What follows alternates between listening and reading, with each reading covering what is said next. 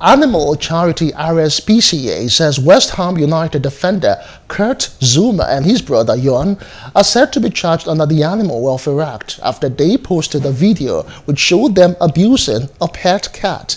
The viral video filmed by Yoan and posted on social media last month showed Kurt dropping the tabby cat and kicking it across the floor. Uh, West Ham said they were aware of the RSPCA statement and said Kurt was cooperating fully with the investigation.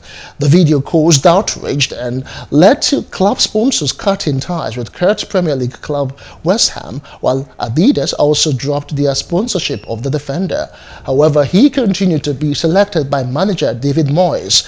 Uh, West Ham said Zouma was fined the maximum amount possible last month, with British media reporting the fine was two weeks' wages. Now, the 27-year-old who apologized had accepted the fine, which was to be donated to animal welfare charities.